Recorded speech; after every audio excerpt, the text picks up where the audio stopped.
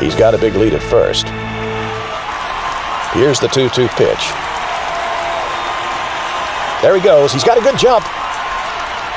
The pitch is outside. Here comes the throw. And he's tagged out at second.